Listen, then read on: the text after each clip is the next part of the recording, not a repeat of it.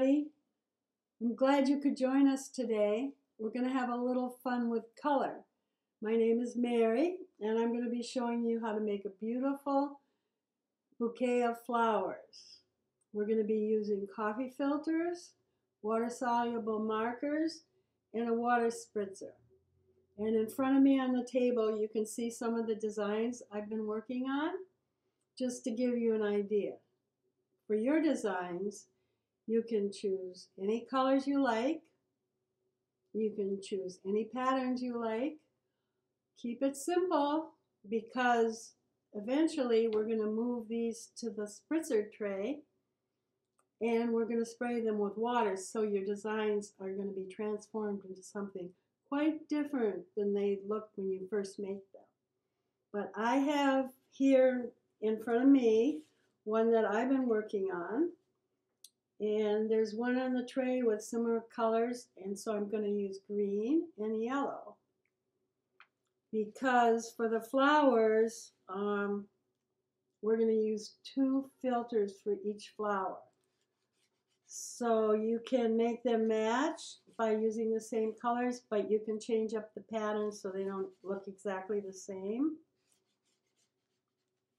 And this is coming along. This is almost done. I think I'll put a little yellow. And, um, okay, here we go. I think it's good. See? Here it is, ready to go on the tray.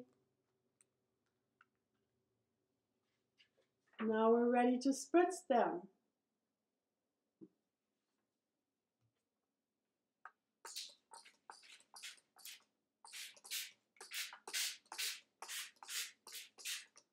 Colors are already starting to blend together. I'm going to give them a couple of seconds here. A little more water. I want you to be able to see the colors really move.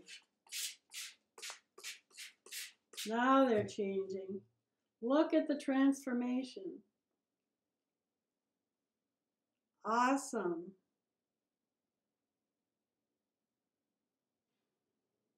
Our shapes are dry. They look beautiful. See the colors, how they've changed once again?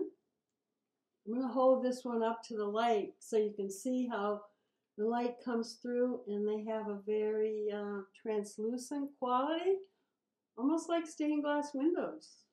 Colors are pale, delicate looking. I think they're perfect for our project. For the flowers, I'm going to show you three different ways to make them. The first one, we'll just be using our shapes as they are. And the second one, we'll be cutting the edges to make a shape, to make a variety of shapes for the petals. And the third one will just be a small white flower with pointy petals. For the first flower, I'm going to choose two circles that I think look nice together. And I'm going to start by picking up a pipe cleaner and twisting the top to form the center for the flower.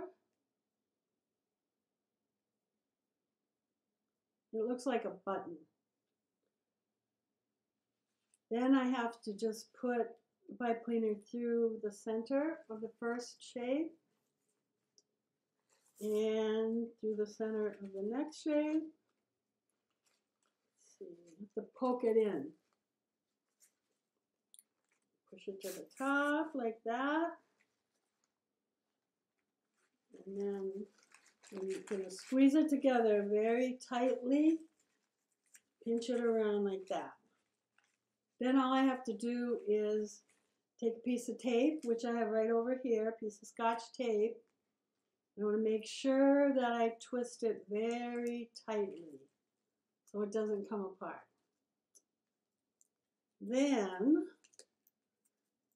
all I have to do is open it up.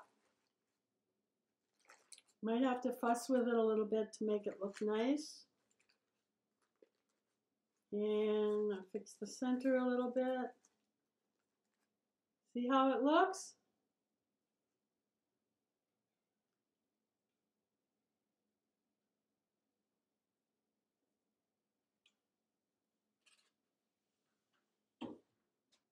For the next one, we're going to be doing some folding in order to cut the petal shapes.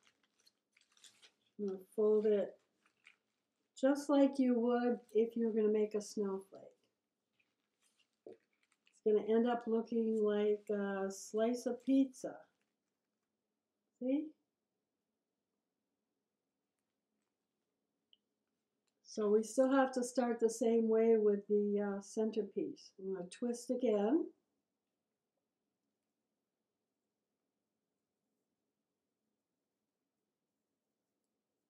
So that's ready.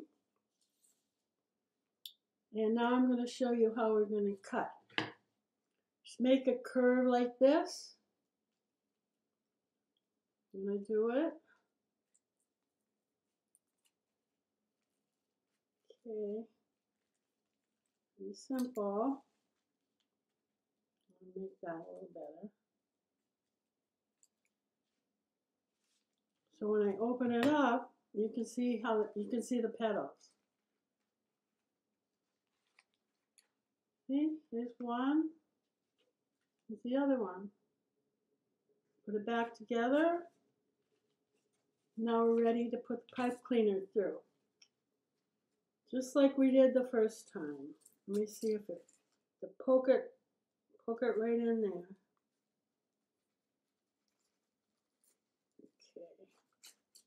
Okay. Do the other one. Poke that in too.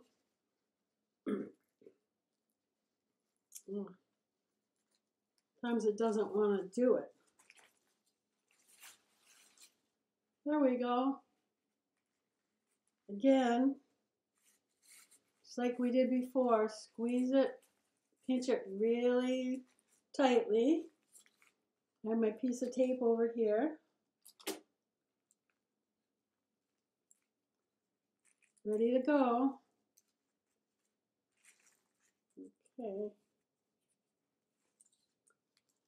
Let's see how it looks when I open it up. This one. Okay, I'm going to fix the center a little bit better. Got my button in the middle.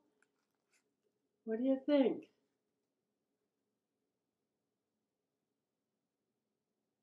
Do you like the petal shapes? I'll put that right over here.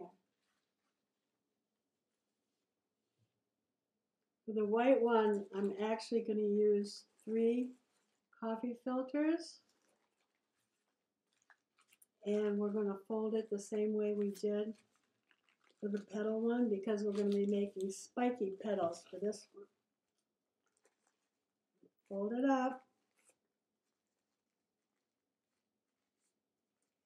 Now I'm going to cut the petals and I'm going to go way deep and make lots and lots of petals because I want this flower to be very full looking and fluffy. So just give me a minute here. Okay. A couple more cuts. And we should be good to go.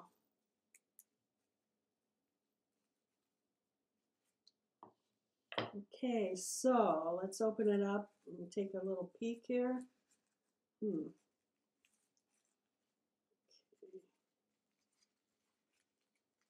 So it looks like this.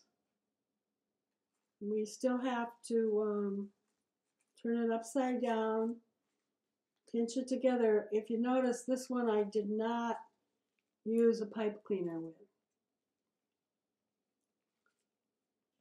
I have my tape here. Wrap it tightly like before. Okay. And let's open it up.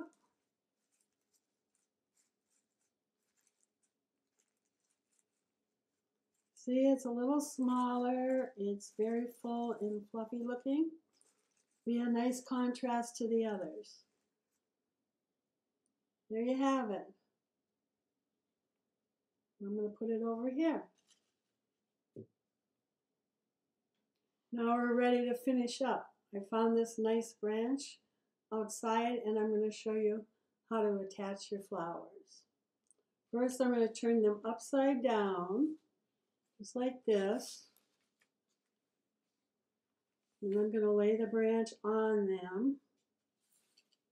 And I'm simply going to tape the flower to the branch. It's a little tricky because uh, normally you think you tape them where the stem is here, but I'm taping them on the petals. So let's see if you can see this. Oops. I'm going to reach in and just press them down right on the petal. Let me do this. I'm going to do it in two places also. And let me do this one up here, the white one. Tape that in two places also. And scotch tape is good because you can't see where I'm taping it. If you happen to have a glue gun um, and had an adult to help you, you might want to try that. This works really well. This is the last one. Can you see how that is? It's going to go like that. Press it really well. And here we go. Okay. So now let's put it in the vase.